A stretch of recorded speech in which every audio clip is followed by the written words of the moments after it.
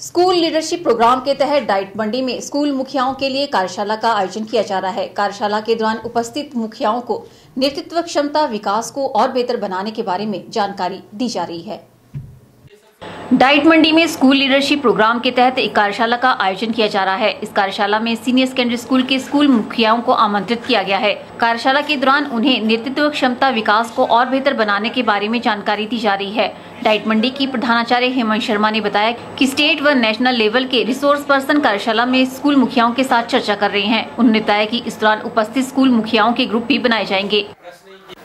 22 नवंबर 2016 से school leadership development programme के हेतु हमारे संस्थान में स्कूल हेड्स की, जिसमें सी एच सीएचटी मुख्य अध्यापक और प्रधानाचार्य, सीनियर सेकेंडरी स्कूल के, उन लोगों की तकरीबन 50 लोगों की वर्कशॉप जो है, यहाँ करवाई जा रही है।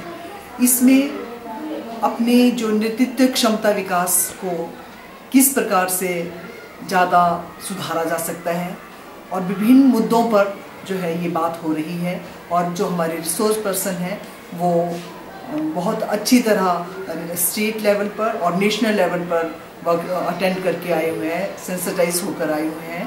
तो ये वर्कशॉप जो यहाँ हो रही है, आज हमारा यहाँ दूसरा दिन है और आज हमारी लर्निंग एनहांसमेंट पर बात हो रही है। इसके अलावा हर स्कूल हेड्स के ग्रुप बनाए जाएँगे और उनको अलग अलग टॉपिक दिए जाएँगे। डिस्कशन चल रही है और डिप्टी डायरेक्टर एलिमेंट्री भी इसमें शिरकत कर चुके हैं आज और पूरी जानकारी जो है इनसे समय समय पर ली जा रही है और इस कार्यशाला से ये बात यकीनन सिद्ध होगी कि जो हमारे स्कूल हेड हैं, क्योंकि उनको खुद स्कूल को ही स्कूल को ही उन्होंने अपना अपनी अचीवमेंट जो है उस स्कूल के बाद खुद ही उनको अपना नेतृत्व करना होगा। कार्यशाला में सीनियर सेकेंडरी स्कूल के 50 मुख्य अध्यापक व प्रधानाचार्य भाग ले रहे हैं। कैमरा पर्सन युगल के साथ ब्यूरो रिपोर्ट के चैनल मंडी।